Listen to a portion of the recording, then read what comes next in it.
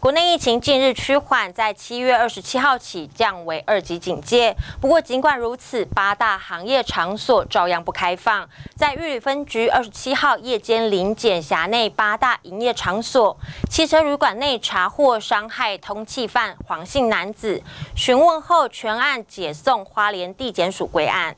国内疫情近日趋缓，七月二十七号起降为二级警戒。中央疫情指挥中心宣布放宽许多的措施。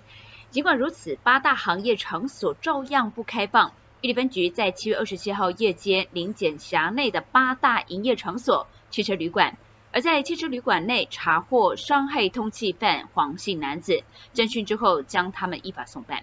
在一间四人房查完其他三人身份时，唯独一名男子如厕十余分钟迟迟不出，便察觉有异，待男子从厕所走出。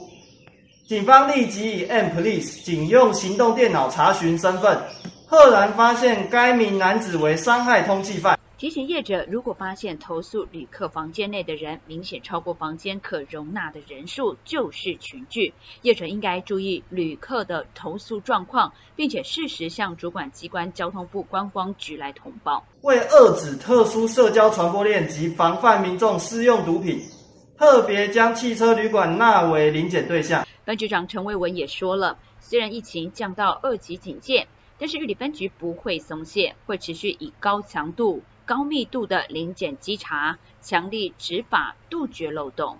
记者高双双玉里镇采访报道。